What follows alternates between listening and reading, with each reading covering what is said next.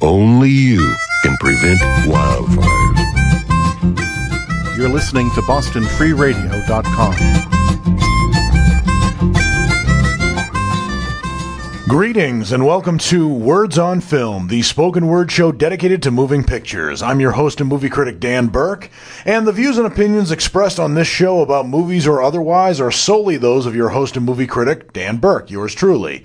They do not necessarily reflect the respective views of any individual employees of the station airing this broadcast or the station as a whole. And this show is dedicated to my favorite topic, which is movies. And there is a lot going on in the news, a lot and I don't usually discuss it unless it pertains to movies, but I do have to say that there has been a lot of devastation over the last two weeks involving Hurricane Harvey and Hurricane Irma.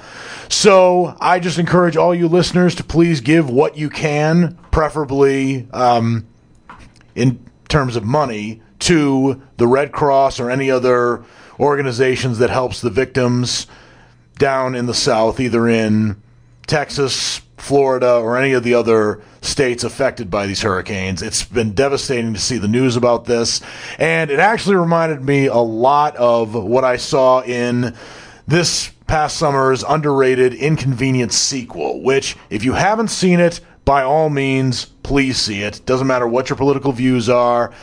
The the devastation that's been happening to the earth as a result of these drastic hurricanes and other weather related events is real. It does have to do with climate change. So please give what you can, but also heed the warning that the. Well, I, I won't get too preachy, but again, I just issued the views and opinions part of the show. So with that said, I will just get into my next segment, which is what's topping the box office. These are the top 10 highest grossing movies of this past weekend. And number one at the box office is the movie It. I expected this movie to be number one. What I didn't expect is that this movie would make almost 120 million more than the movie at number two at the box office, but as it turns out, that is exactly what happened. So it ha- actually has the highest opening of any movie in September ever. Not adjusted to inflation, mind you, but even still, that's really impressive. So it grossed in the United States $123.4 million. Around the world so far, it has grossed $189.7 million, and that is against a budget of just $35 million, which makes it already in its first weekend, not even a full week in theaters, it is a certified hit here in the States and around the world. That does not happen often, especially with a movie with a budget of $30 million or more. Home Again is number two at the box office, debuting at number two. It grossed $8.6 million. Again, nearly $120 million less than it. That is crazy. But Home Again grow, um, made 8.6 million against a budget of 15 million dollars so it's not a hit yet and i don't have the overseas numbers for you but it doesn't have too far to go to recoup its budget but will it be a certified hit we'll have to see the Hitman's Bodyguard was number one for the last three weeks, but this week it dropped to number three, having grossed only $4.8 million. But against a budget of $30 million, the Hitman's Bodyguard has so far grossed 64.8 million here in the states and 107.1 million around the world, making it a certified hit here in the states and around the world. Annabelle Creation was number 2 at the box office last week, and I think for the last three weeks. This week, it drops to number four at the box office, having only grossed $4 million. Against a budget of $15 million, though, Annabelle Creation has so far grossed 96.3 million here in the States and a staggering 280.3 million around the world. It goes without saying that Annabelle Creation is a certified hit here in the States and globally. Wind River dropped slightly from number three last week to number five this week, having grossed $3.1 million.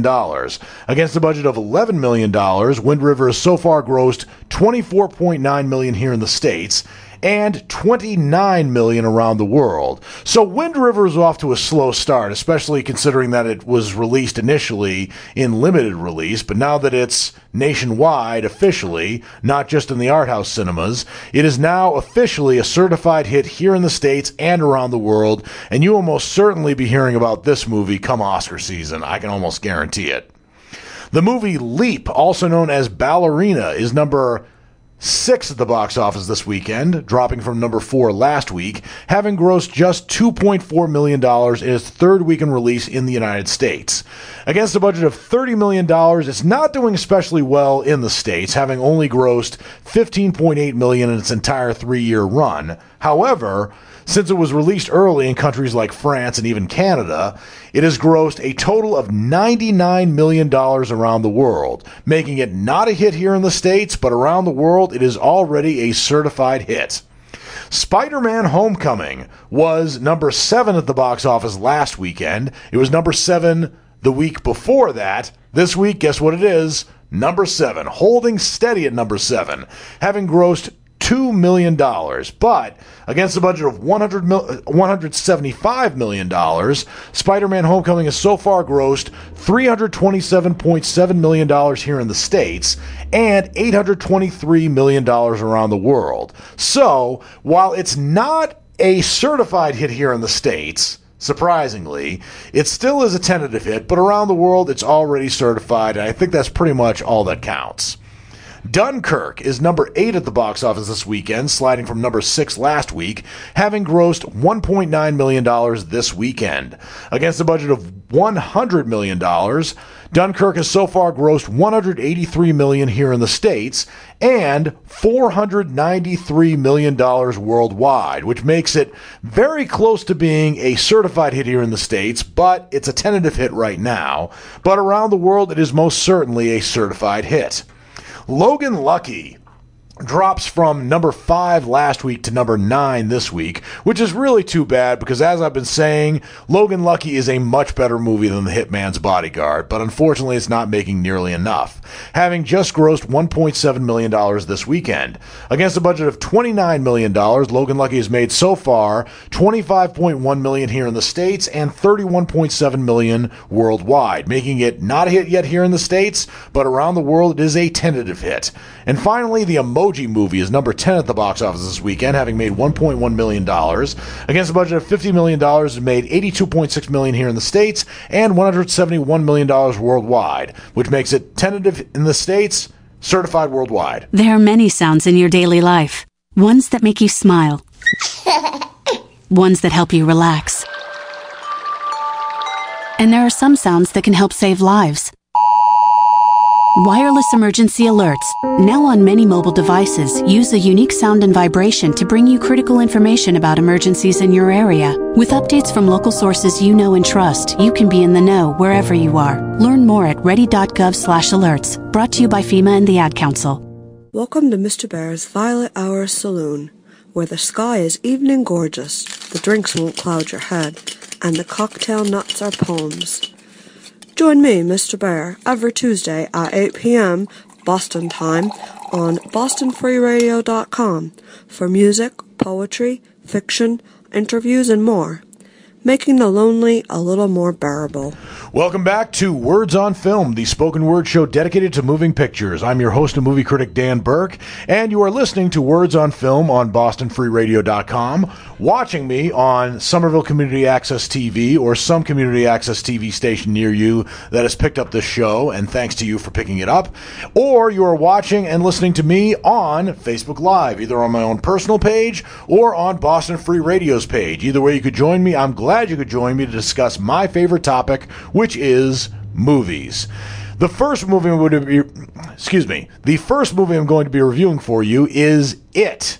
It is a movie that's probably going to sound a little bit like an Abbott and Costello routine when I talk about it, but I'm going to try to avoid any sort of Abbott and Costello misunderstandings as much as I can. But it is the long awaited big screen adaptation of the book of the same name by Stephen King, which is probably one of his best, arguably one of his best known books. It's not the first screen adaptation of it. The first one was the 1990 made for TV movie starring Tim Curry as Pennywise, as well as several other notable actors. But this is the first time that it, which is a very long book, I think in its paperback form, it's about five to 600 pages.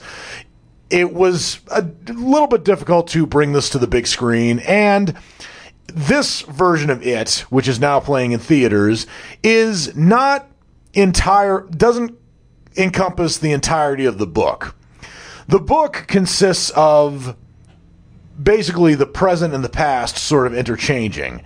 In this movie, it is solely of the past. In other words, there are kids who are affected by this this demon known as it, and they are they band together when a shapeshift when this shape-shifting demon who takes the appearance of the clown of of a clown named Pennywise begins hunting children.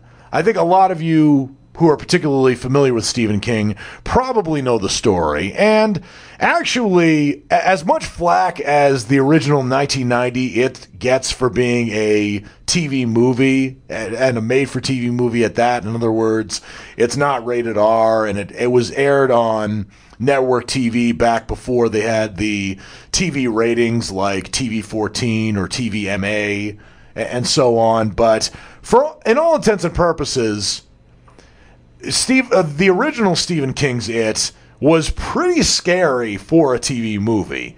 I remember seeing that when I was a kid and being pretty horrified at Tim Curry's clown. Looking back, uh, Tim Curry's Pennywise clown is a little bit hammy and a, a little ridiculous including some of the scenes where they used obvious claymation for some of the special effects. But for its time, it was pretty scary, at least the part with the kids in it. But this is, without spoiling too much, this on screen adaptation for the big screen is the first part. It, as I said, the book it told, and for that matter, the TV miniseries told two stories. One from kids' perspectives, and the other from these kids' adults' perspective. Well, the adult movie is coming soon. This on screen adaptation of it is just focusing on the kids including there is a young kid named Bill Denbrough who has a stutter, and he's played by Jaeden Lieberher. The, and there are various other kids of certain archetypes. There's the well read Ben Hanscom, who's played by Jeremy Ray Taylor. And Jeremy Ray Taylor is the heaviest of the kid bo- uh, of the seven kids in this group. But what I liked about the movie, and maybe they did this in the book, I don't know. I actually haven't read the book, but I liked that he was the heavy kid, but he wasn't the stereotypical heavy kid who was shoving cupcakes into his mouth. And also, the kid who has the glasses in this group is not the smartest one. I thought that was also a very clever move. However, the kid was cast as the kid with the glasses the the character's name is Richie Tozier, and the kid who plays him is an actor named Finn Wolfhard. I didn't think that casting was particularly good, not because Finn Wolfhard isn't a good actor. He's a very good actor. But Finn Wolfhard is actually the star of the hit Netflix series Stranger Things. And I think when you see him in this movie, It, and you've and you're already familiar with Stranger Things as I am, you're inevitably going to make comparisons between the two. And I don't think that was a very smart move casting wise. But with that said, Finn Wolfhard actually did a pretty good job in this movie as his on-screen character Richie. And there's also there are three other kids in the group who are band together because they're bullied, but there's also a girl in the group whose name is Beverly who comes from an abusive household with a single father. And there's a story there, which I won't reveal, but you can definitely tell what the story is, not from what they tell you, but from what they show you. And she is played by a fine young actress who I think is going to go on to some very big things, named Sophia Lillis. So I really did think that the the kids in the group all together with some exceptions did pretty well and worked well alongside one another.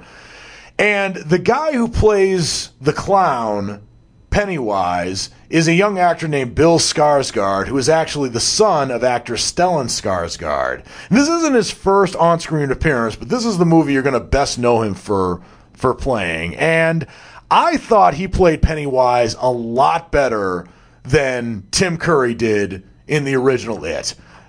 He didn't ham it up so much as he made this clown legitimately scary. And there were moments in this movie, even though I didn't think it was the the scariest movie I've ever seen, there were parts where Bill Skarsgård absolutely terrified me.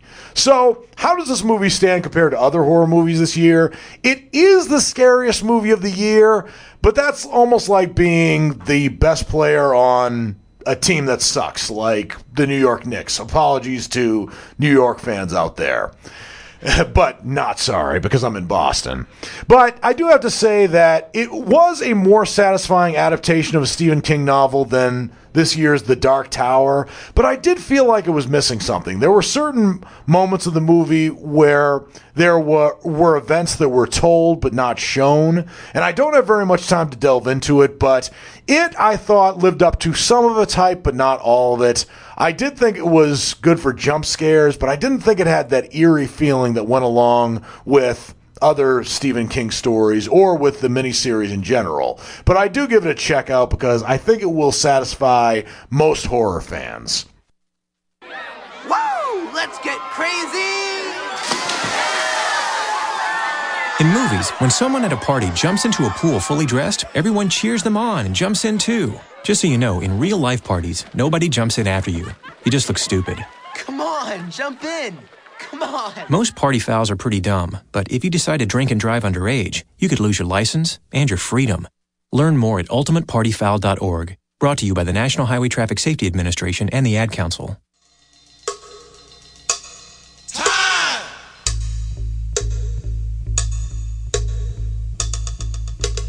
Is Alan Patterson. and I want to invite you all to tune into my music radio show, Voices of Time, heard live each and every Wednesday from 3 to 5 p.m. Eastern Time on Boston Free Radio at bostonfreeradio.com.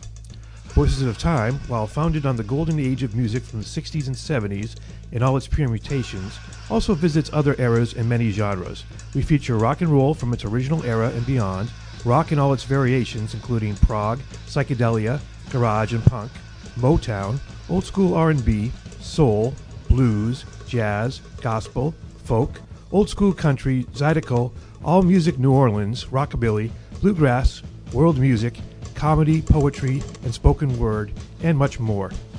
Please come and join me for an adventurous two-hour ride into the stratosphere of sound where the voices of time reverberate for all eternity.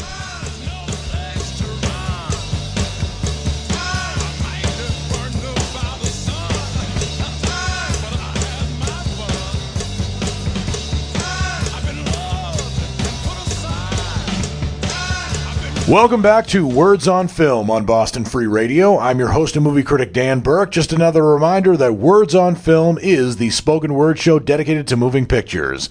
And I'm glad you could join me to discuss my favorite topic, which is movies.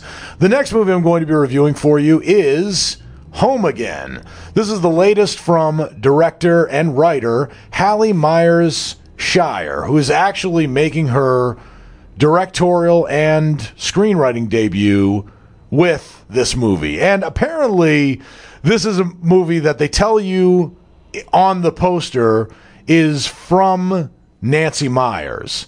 And that is a little confusing because it, it gives you the impression that Nancy Meyers directed this movie. And this, this movie does have a Nancy Meyers fear to it. Nancy Meyers, for those of you who don't know, is the writer of such movies as the Intern, The Holiday, and It's Complicated. And also, Something's Gotta Give. These are all movies. Some are good, some are kind of rom com fluff that once you see the movie, if, if you see these movies back to back or even five minute clips of them back to back, you'll notice that they all have something in common. They're all about getting older, true.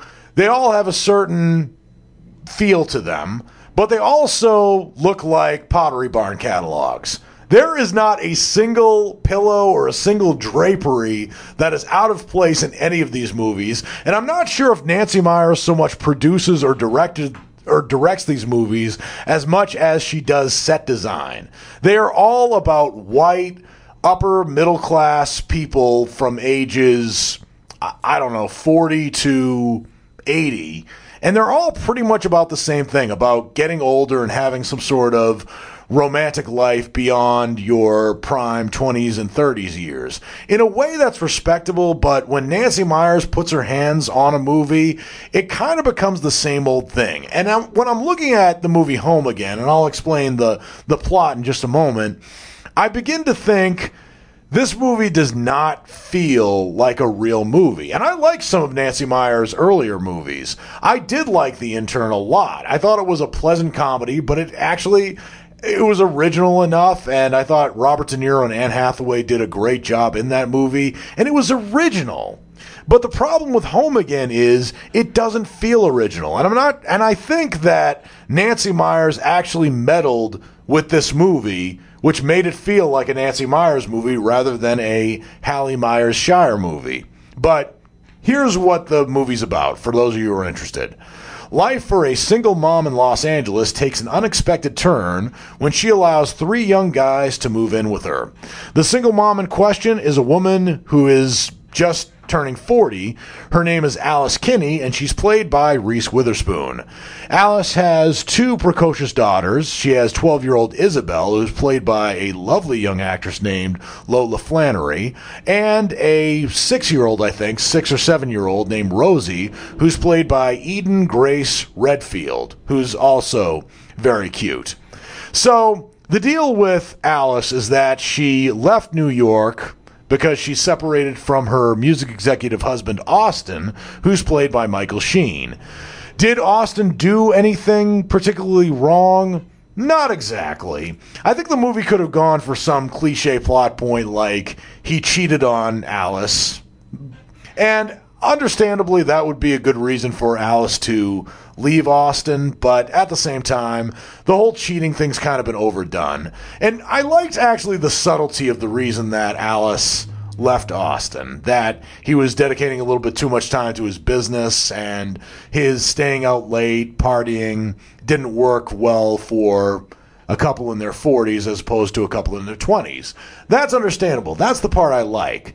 But the movie really fell off the rails when the introduction of three wannabe filmmakers, actually a little bit better than wannabe. These are filmmakers who actually did make a short film, which they are in the process in the movie of adapting into a feature length film. There is the director, Teddy, who's played by Nat Wolff, and there's also the writer of the film, George, played by Jon Rudnitsky, and the lead actor in the film, Ju- uh, Justin Miller, who's played by Reed Scott. So these actors are okay. The problem I had with Nat Wolff was that he was basically just a good looking guy. And naturally, he was striking up a relationship with Reese Witherspoon's character. And th- that's another thing about Reese Witherspoon's character. She is a single mom who goes from New York to LA, and you would expect that maybe a single mom would have a little bit of trouble paying the bills or paying the rent, you know, starting over. Well, it turns out she's actually moving into a penthouse, which was owned by her father, who was a prolific filmmaker in the same kind of vein as John Huston or John Ford. In other words, he's a director who's had a history in Hollywood, and he leaves behind this house to his late wife Lillian Stewart, who in this movie is played all too briefly by Candice Bergen.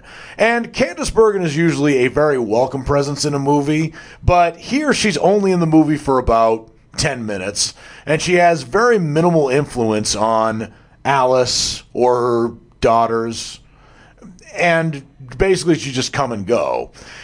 So, back to the relationship that Nat Wolff's character has with Reese Witherspoon's character.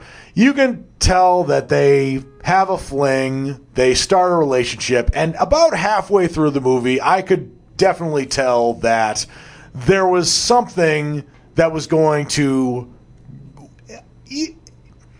gradually wedge them apart. But the problem was there wasn't enough substance between the two characters. Did they have chemistry? A little bit. Were they good looking? Definitely. But there wasn't much that was interesting about Nat Wolff's character or the way Nat Wolff played him. I thought that his comrades, Justin and George, were a little bit more interesting, especially the character of George. And turns out George does have feelings for Reese Witherspoon's character, but the the love triangle kind of disappears and then reappears almost in a blink and you'll miss it moment. So this movie is full of bland characters who are underwritten and look like they are in a Pottery Barn catalog. And that's really all there is to say about Home Again. I laughed maybe once during this movie, but it didn't even give me a feel good feel- feeling. It's a great looking movie, but it's a movie to which I give my rating of a flunk out. Nancy Meyer should have kept her hands off this. You know what really gets a party started? Indoor baseball. Yeah, just find a broom or a pool cue, and you can use like anything as a ball cans, bottles, shoes. Hey, bro, toss me that avocado. Most party fouls are pretty dumb, but if you decide to drink and drive underage, you could lose your license and your freedom. Underage drinking and driving, the ultimate party foul. Learn more at ultimatepartyfoul.org. Brought to you by the National Highway Traffic Safety Administration and the Ad Council. Did you know that you can now find Boston Free Radio on iTunes? We're in the eclectic internet radio category. So what are you waiting for? Tune in now. Whether on iTunes or on bostonfreeradio.com, Boston Free Radio is there for you.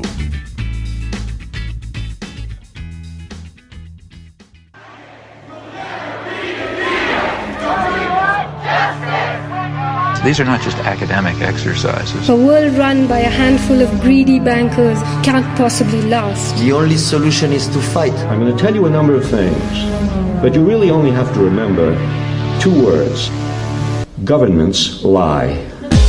New England Unsettler, Mondays at 5 p.m. Eastern Time, right here on Boston Free Radio.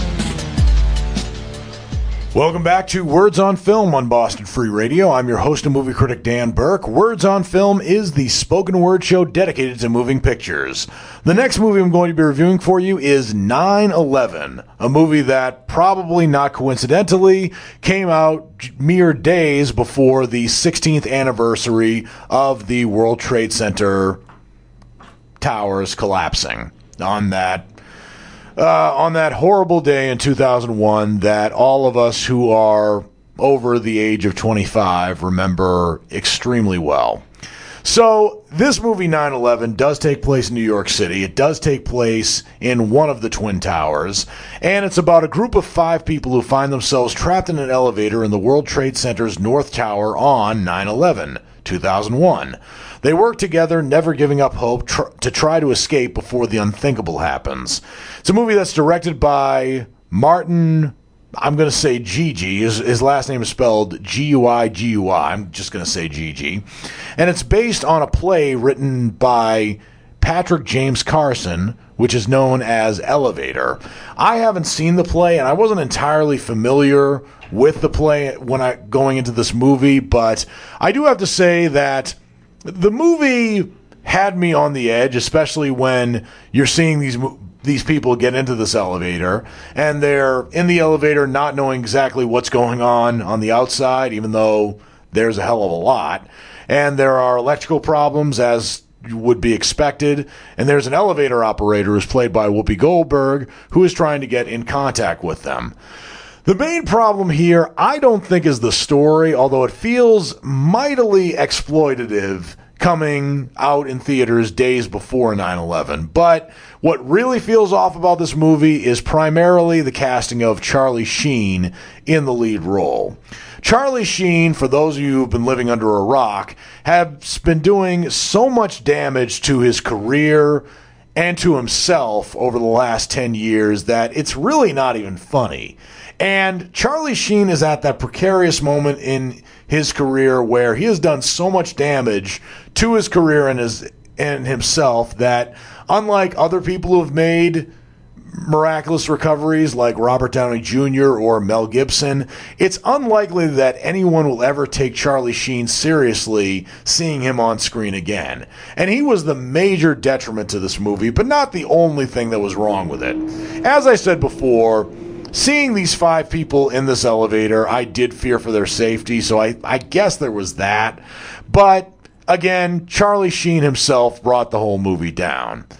The, but it, it, he wasn't the only thing, but it was something else involving his character that also brought the movie down. No pun intended with the elevator. So his character, Jeffrey Cage, is a wealthy Wall Street executive who is in the middle of getting a divorce from his longtime wife, Eve, played by Gina Gershon. So Charlie Sheen and Gina Gershon have no chemistry together. And yes, I get that they're a couple who's in the middle of getting a divorce, but you have to have chemistry with your co co actor, even if you're fighting with them. There has to be some sort of chemistry, either positive or negative. And negative chemistry is not the same as having no chemistry. So there's that, but there's also once you're introduced to their characters in the very beginning of the film and they're in the World Trade Center having this very early meeting about getting divorced, you, you can instantly tell that there's going to be some semblance of a love story here. And if you're going to make a movie about 9 11, you don't need a love story. A love story was appropriate for Titanic. It's not appropriate for the World Trade Center towers because there was so much more going on with that natural disaster than there was with Titanic. Again, two tragedies, but they are different tragedies with different things at stake. So having a love story in this movie felt it made it feel even more exploitative. Now, was I personally offended by watching this movie? No, but I don't I don't know anyone personally who died in either the Trade Center collapsing or the attack on the Pentagon. I do know of a lot of people who did, though. But there was one fact that did not come to my attention until after I saw this movie, and it's that Charlie Sheen himself is one of those people who believes the conspiracy theory that 9 11 was an inside job and that the World Trade Center towers collapsed not because of the planes crashing into them, but because there were people who set off detonation devices below the Trade Center. This is a conspiracy theory that is entirely without merit. And conspiracy theories, in and of themselves, are completely without merit. But the fact that Charlie Sheen believes that is just another whole reason not that he should not have been involved in this film. If Charlie Sheen wants to make a legitimate comeback, he has to show people that he's changed. And I'm not just talking about hard partying or any of the other things he did that put him on the gossip columns. I'm not talking about that. The real reason that Charlie Sheen is not the actor he was in the 80s, 90s, or even the early aughts when he was doing that show Two and a Half Men, which was a hit show. I never really liked it, but I know a lot of people who did. But if he wants people to know that he's changed, he has to show that. And being in a movie like this about such a catastrophic event is not the way to do it. I think it's too big a jump too soon. So, I is Charlie Sheen the only thing wrong with this movie? Not the only thing, but I think it's one of the biggest things. Could it have worked with another leading man besides Charlie Sheen? Perhaps, but having the couple in the the elevator who are in the middle of getting a divorce and are reconciling as the Trade Center towers are coming down or as they're about to come down. I didn't buy that at all. And it doesn't matter if it's Charlie Sheen or even George Clooney who plays this part it just shouldn't be in this movie in general.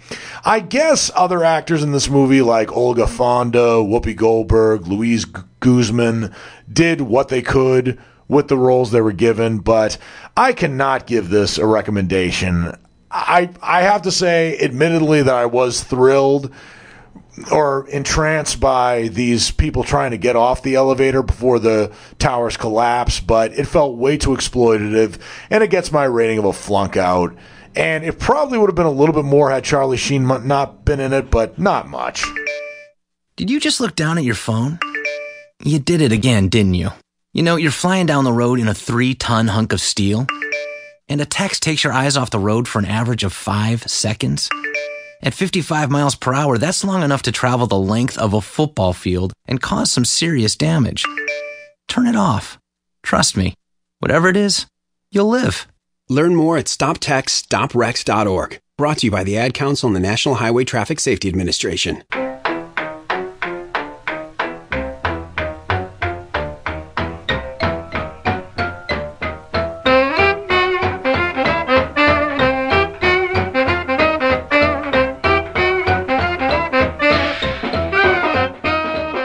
You're listening to BostonFreeRadio.com.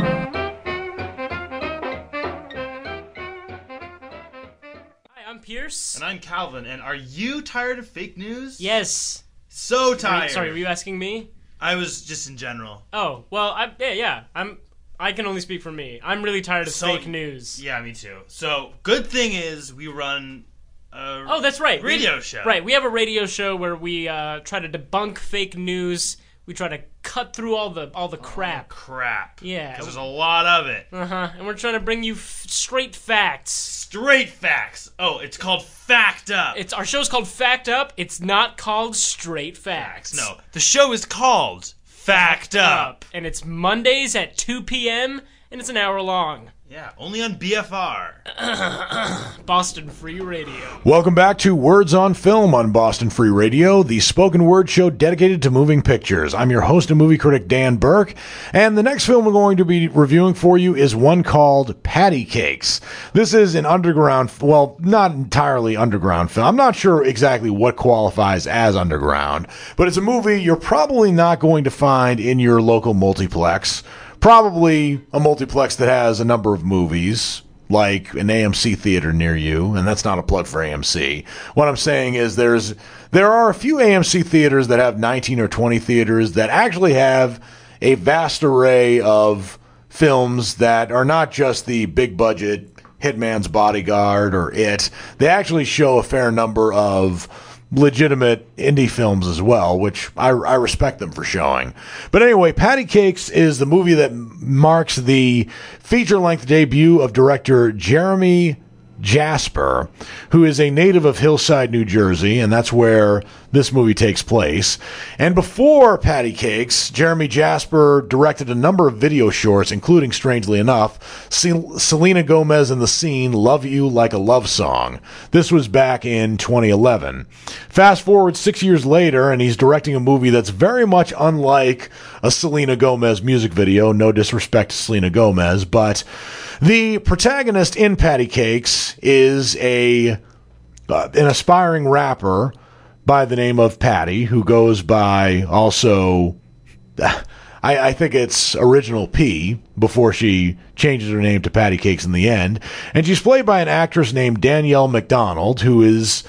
I, I try not to be sexist or be discriminatory against women, but a lot of times when there's an attractive woman in a movie, I say a very attractive or very lovely woman. Well, Danielle Macdonald is not attractive, not at least not in this movie, and that's again, I'm very apologetic about that, but th- I, I think that's the point of this movie. And what I liked about it, and the reason that I'm pretty sure that this was pretty much untouched by the major Hollywood studios' hands, is the fact that if they were casting the movie, they would probably cast a more attractive woman as the titular character. But I liked that the character in this movie was overweight and not especially attractive. That is one of the obstacles over which this character has to overcome. And I respect it for that. And in the hip hop world, there are, it's still male dominated. There are some notable female rappers, but there are very few white female rappers. Iggy Azalea's one of the few, and she's going through a career rut right now. But there are no white, overweight female rappers. So the motivation behind Patti wanting to become a rapper is she wants to get into the game just like any other rapper would. But of course, she has her image being an obstacle. but she has a support team that does not include her family, including Barb, who's played by Bridget Everett, who is who was an aspiring singer in the 80s before giving up on the dream. But she does have a circle of friends including a pharmacist named Jerry, who's an Indian man played by Siddharth Dhananjay, who even though he has a, a steady job, he also is equally inspired along with Patti to break out and become an unlikely rap superstar. There's also a reclusive DJ who lives off the grid whose name is Basterd, who's spelled whose name is spelled B A S T E R D, not T A R D, who's played by a, a mysterious actor named Mamoudou Athie. And he's I don't know, I'm not sure how mysterious he is in real life, but in the movie he is extremely mysterious. He also talks with a very cool bass voice, and he wears a glass eye. It's it's not he, he doesn't need the the glass eye. It's more like a contact lens that makes it look like a glass eye, but either way, he looks like and some of his music sounds like a black Marilyn Manson, which I thought was incredibly cool. And one of the last characters in the movie is actually Patty's grandmother, who's known as Nana, who's played by Academy Award nominee Cathy Moriarty. And I didn't recognize Cathy Moriarty when I saw her in this movie. I forgot to turn off the ringer on my phone.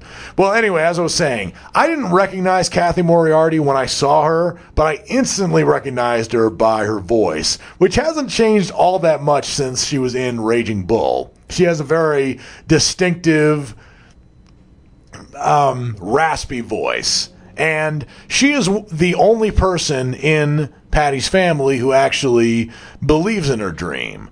And so the four of them, Patti, Jerry, Basterd, and Nana, form a group called PB and J. P for Patti, B for Basterd, N for Nana, and J for Jerry. And the movie is very similar, I think, in plot to Eight Mile, but then again, Eight Mile was actually more similar than you might expect to Saturday Night Fever. It's again, it's about somebody who has high aspirations to make it in the entertainment business, usually as a performer, and also has the odds against him, or her in this case, in that they live in the inner city and it's they're while they have connections, they have to work probably a lot harder than most to overcome the brutal, cutthroat entertainment industry. So, again, this movie shares some similarities to 8 Mile, but it is not an 8 Mile ripoff by any stretch of the imagination. I loved Danielle Macdonald in this movie. Not only did she rap incredibly well and probably could have held her own against Nicki Minaj or MC Lyte, who, by the way, the latter of whom makes a cameo in this film. But she also j- just embodied the character so well. And I also like the fact that no, she is not attractive, but she was probably one of the most dynamic characters that I've seen on the big screen this year. So Patti Cake$ gets my rating of a knockout. I think this is a movie you will like, even if you're not a fan of hip hop. I like most hip hop, but I'm, I'm actually not a big fan of the new stuff that's coming out, particularly the mainstream stuff. But Patti Cake$ is a timely movie in the sense that if you hate the mainstream stuff, you will like what's going on in this movie, which is presumably what's going on in the underground. They'll challenge your authority because that's what kids do. But this car is your territory, and in here, your word is law. So when you say you won't move until everyone's buckled up, you won't budge an inch until you hear that click. Never give up until they buckle up. A message from the National Highway Traffic Safety Administration and the Ad Council. For more information, visit safercar.gov slash kidsbuckleup. I love those real six sons. They're the ones that move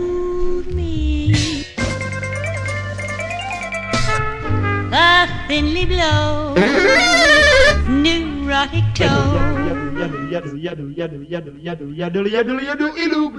Intensify and groove me.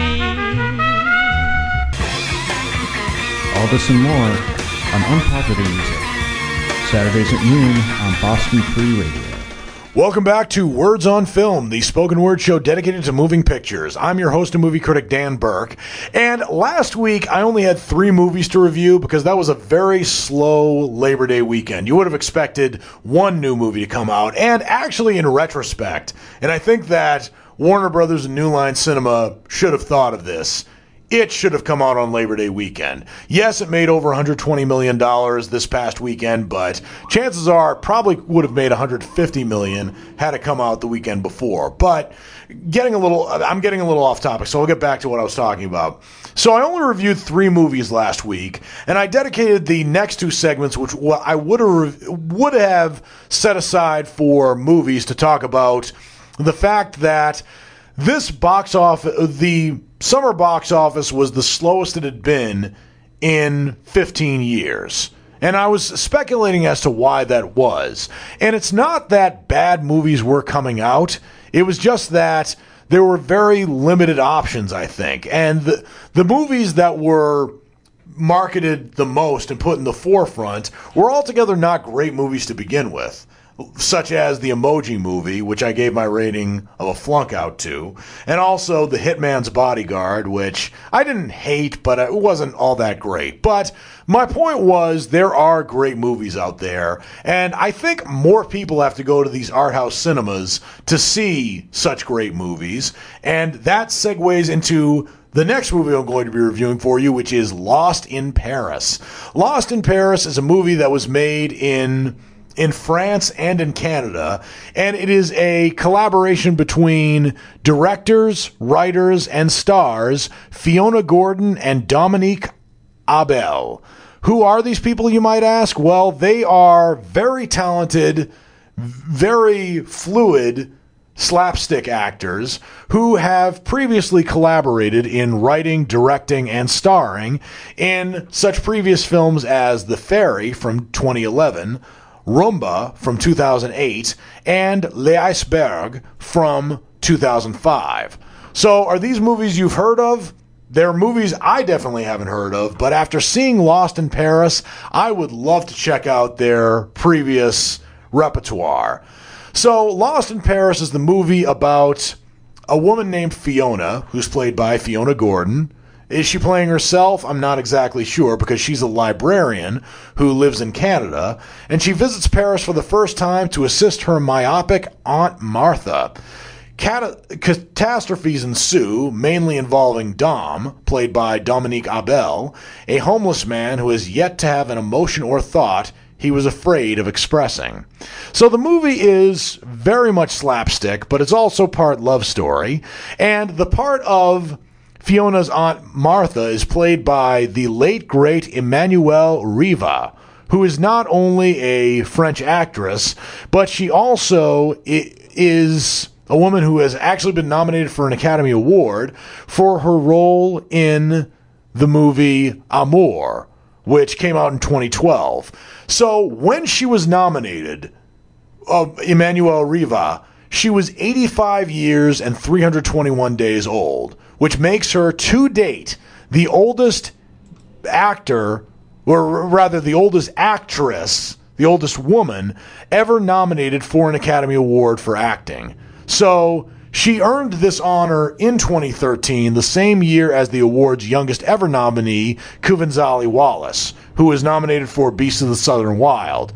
Unfortunately, Emmanuelle Riva died earlier this year on January 27th at the age of 89. But the fact that she's gone so far in her acting career and was only nominated once at the age of 85 tells maybe aspiring actors anywhere or even people who are aspiring to do something and think they are too old, including me at the age of 34. It is never over until you have no breath in your body. As long as your heart is still beating, there is always one more time. But with that said, Emmanuelle Riva actually has certainly one of her last roles here. I'm not sure if this is her very last role, but it's a role to go out on, and in a comedy no less. Emmanuelle Riva is not particularly well known for her comic acting, but in this movie she plays a senile old woman and it's it's certainly a great note to go out on for her because even though she doesn't have the physicality of Fiona Gordon or Dominique Abel, she certainly has surprising moments of physical comedy in this film. In fact, there's a great scene where she has a moment with a long lost love named Duncan, who's played by Pierre Richard. The two of them are sitting on a bench, and in probably one of the most iconic scenes ever, both of them, while sitting down, have a dance number. Let me say that again.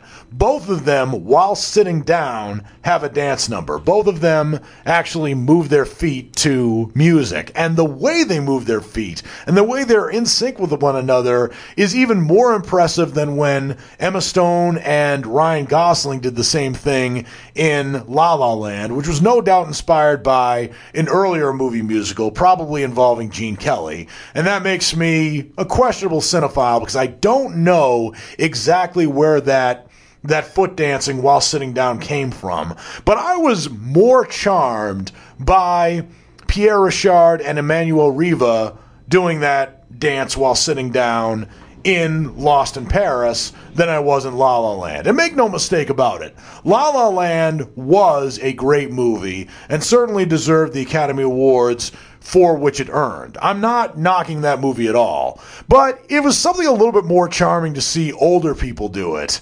than to see people in their 20s and 30s perform the same act. Because I think with people in their 20s and 30s, like Emma Stone and Ryan Gosling, it's a little bit more expected. But when older people have that kind of chemistry and that kind of synchronization, it certainly is very impressive. But in addition to Emmanuelle Riva's one of her final role, final roles, I thought Fiona Gordon and Dominique Abel acted really well in this film as long lost milquetoast lovers who are reluctant to cross paths, at least Fiona with Dom. But once they do, the the sparks fly. And I loved the on-screen location shooting of Paris in this movie. It's certainly a well done film. I would love to see Fiona Gordon and Dominique Abel's previous films, and I think I will. But Lost in Paris gets my rating of a knockout. So, you know, I'm a dog, and I'm kind of new to this family, but I've noticed a trend. My humans do this thing where they go around and get all my toys and hide them in this basket, but it's always the same basket, and it's always the same place. And then they act so surprised when I find them, but I'm like, hello, that's where you put it last time. Humans are the worst at hide and go seek. A person is the best thing to happen to a shelter pet. Be that person. Adopt. Brought to you by the Ad Council and the ShelterPetProject.org. Every Tuesday at 3, something special happens on Boston Free Radio. Why, it's Toppers with your host, Gil. Toppers, spinning the tunes that today's youth demand, from Justin Bieber to Lady Gaga to the Fleetwoods, and, on occasion, Hoagy Carmichael. If you missed the program, you can check out the archives at Toppers Radio, that's one word, dot blogspot dot com. Toppers. Welcome back to Words on Film, the spoken word show dedicated to moving pictures. I'm your host and movie critic Dan Burke, and now that I've reviewed the five movies that I'm going to review for this show, that I told you I would review for the show, I'm now going to get, get going to get into my next topic, which is what's coming out next. This is a spoken word preview of the movies that are coming out this coming weekend. Before I get started, I just want to say that when I give you this this film synopsis, I'm not saying whether the movies are going to be good or not. I really don't know. There may be a movie, and this has happened before, movies that I think look good that ultimately end up being pretty bad. And there are movies that, much to my surprise, have exceeded my expectations. So I'm I go into every movie with an open funnel Granted, there are some movies that I know from the start are going to be bad, like any movies where Tyler Perry dresses up as an old woman. Those movies are definitely going to be bad. In fact, coming out later this year is going to be Boo 2 A Madea Halloween. Oh boy, when will we ever learn? But anyway, getting into what's to- uh, what's coming out next. The big movie that's coming out in theaters nationwide is the latest from director Darren Aronofsky, which is Mother. And this stars Jennifer Lawrence, Javier Bardem, Ed Harris, and Michelle Pfeiffer. This is a movie about a couple's relationship that is tested when uninvited guests arrive at their home, disrupting their tranquil existence. So Darren Aronofsky is known for directing very intense movies. Of course, the movie that comes to mind, the, the greatest when it comes to Darren Aronofsky, is Requiem for a Dream, which is probably one of the most intense movies about drug abuse that I have ever seen. And it's a movie that, yeah, I saw once and was traumatized by it, but then I came back to it again and again and was fascinated by it. And even when I was horrified the first time I saw it, I was still fascinated by it. It is an intense film, but one I absolutely loved. So, no pressure on on this movie, Mother. Uh, Jennifer Lawrence is still a hot commodity right now. I don't know how this movie's going to be. I haven't seen any previews for it, but it is probably going to be an intense movie. And of course, the stars of the movie, especially Javier Bardem, have been in some intense movies before, so this will probably be nothing new to them. Will it be great? Will it be better than Requiem for a Dream? Doubtfully. Will it be better than Black Swan? I don't know. But I'll see it, and I'll let you know what I think next week on my show. Another movie that's coming out this coming weekend is American Assassin. This is a movie that's centered on counterterrorism agent Mitch Rapp.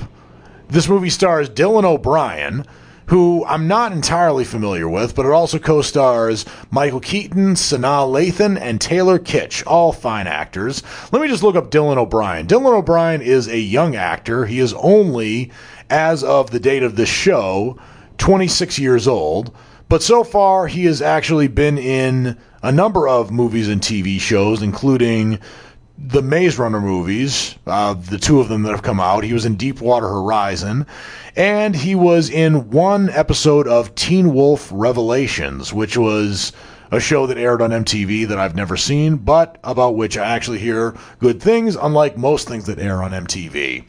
But American Assassin should be a breakthrough role for Dylan O'Brien, and if it isn't, then we won't hear from him ever again probably.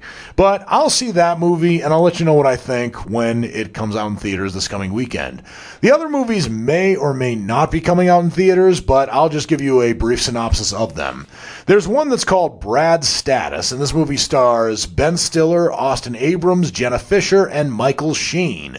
My God, is there a movie that Michael Sheen is not in? The guy seems to be in everything nowadays. But anyway, Brad's Status is about a father, presumably played by Ben Stiller, who takes his son to tour colleges on the East Coast and meets up with an old friend who makes him feel inferior about his life's choices.